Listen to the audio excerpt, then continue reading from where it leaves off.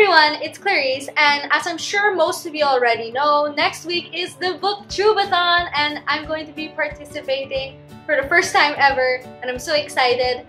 Side note, unfortunately I'm still having camera problems, so I'm still stuck with the monopod for this video, but it's a short video, so I'll survive, I think. Recently, I've been watching a lot of these Booktubeathon TBR videos, and I figured it was time that I filmed my own TBR video show you all the books that I plan to read in the Booktubeathon. I chose all of these books with the challenges in mind, but I'll get to that later. The first book I'm reading is Where Things Come Back by John Corey Whaley. I actually have no clue what this book is about, but it's a relatively short book and most people say it's probably better that you go into it not knowing anything about it, which is what I'm going to do. But I've heard a lot of really good things about this book, so I'm definitely looking forward to it. This is also the book I'm reading to fulfill the challenge of reading a book with blue on the cover. Next book I'm reading is Lullaby by Chuck Palahniuk.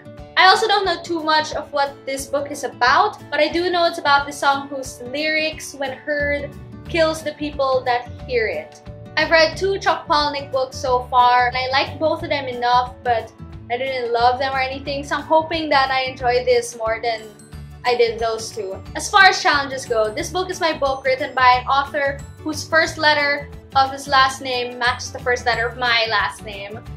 And my last name starts with P and Palahniuk starts with P, so I'm choosing this book. This Booktubeathon, I'm also reading Vicious by V. Schwab. I also don't know too much about this. I know it's about these college roommates who research on super-powered, extraordinary people and try to figure out how they can get superpowers themselves. And I hear it as an anti-hero and it sounds amazing. This book actually fulfills three challenges.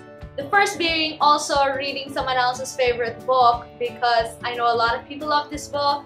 Just a few names, Regan from Peruse Project, Jesse from Jesse the Reader, and a bunch of other people. This would also fulfill the challenge of reading the last book you acquired because recently I bought a few books on my Kindle and this was one of them because it was $3 last month. And it's also a book I really want to read because I've been wanting to read this book for a year now or something like that. But I'm so glad that I'm finally going to be able to get to it this book Booktubeathon. And lastly, just because it's a readathon and because I think readathons are the perfect time to read those quicker reads. I'm also planning to read the Runaways comic book series, as many of the volumes as I can this readathon.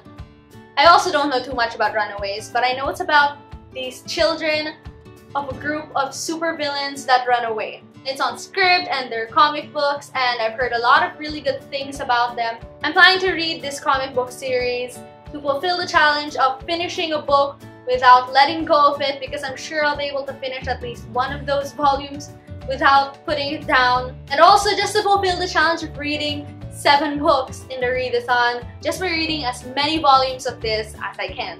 So those are all the books that I'm planning to read this upcoming readathon. I'm relatively busy some part of next week so I'm hoping I'll be able to participate in all the challenges though I might not but I'm still really, really looking forward to this. I feel like it's going to be a really fun time to be a part of the BookTube community. Are you participating in the BookTubeathon? What are you planning to read? I'd love to hear about it in the comments down below. Please like this video if you liked it and subscribe to my channel if you haven't yet. Thank you so much for watching and I hope to see you in my next video. Bye!